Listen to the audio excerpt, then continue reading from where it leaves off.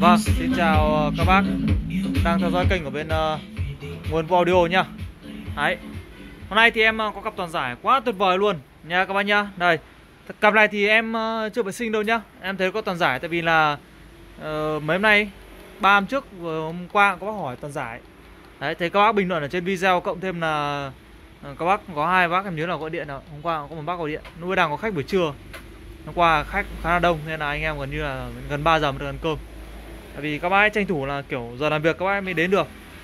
Đấy Thế mà không tranh thủ bán thì cũng Các bác cũng không không không đến được cái tầm buổi chiều được. Đấy 5 giờ là các bác kiểu phải về nhà công việc rồi Xong là cái giờ hành chính thì người ta phải làm. Để tranh thủ buổi trưa các bác là cũng đến mua thôi. Đấy, thì anh em cũng nhiệt tình tiếp nên là hôm qua gần như là anh em chiến đấu gần 3 giờ các bạn Đấy, và mới được ăn. Nói gọi là hoát cả mắt Ngồi suốt cả ruột.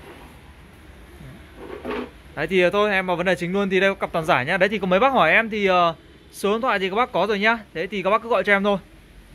Các bác gọi số 81 đuôi 81 được hoặc 82 cũng được nhá.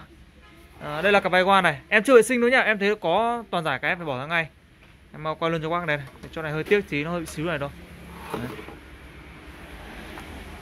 À, Con này này Aiwa này? Mã là LK250 này. Trở kháng bố rôm công suất thì em không thấy gì đây.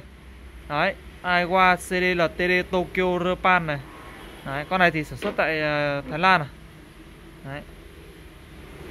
Tức là vẫn là hãng của uh, nội địa của người Nhật. Đây là TD Tokyo Japan này. Đấy Aiwa là thương hiệu nội địa của người Nhật Nhưng mà sản xuất tại nước thứ hai đấy. Nói chung là có biết rồi đúng không ạ? Ở đâu thì chi phí và nguyên vật liệu rẻ thì họ sản xuất thôi.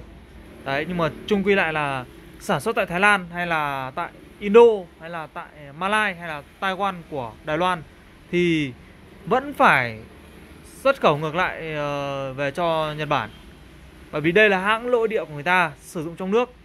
Đấy, thế nên là đều phải quay đầu lại cho người ta sử dụng hết. Đấy. Nên nhiều khi có bảo là muốn mua hàng mới thì phải sang bên Nhật, đấy. Nhiều bác khách hàng em biết mà, có bảo là các cái hàng này nếu mà muốn mua hàng mới là phải sang bên Nhật, mua xong là sách tay về đấy, chứ còn không không mua được hàng kiểu xuất khẩu. Bởi vì đây là hàng nội địa của họ. Hàng sử dụng điện 100V Đấy. Cái này thì bác làm ở bên Nhật thì bác biết đúng không ạ? Em chẳng cần phải nói đâu, bởi vì cái này là Em thì cũng không phải đi Nhật. Đấy, nhưng mà cái này là được khách hàng em chia sẻ thực tế Và nhà em nhập hàng em cũng biết. Đấy, đó là các hàng này mua hàng mới rất là khó. Mà muốn mua là phải sang tận Nhật mua, Hoặc là có anh anh chị em bên Nhật Là nhờ sách tay về. Đấy.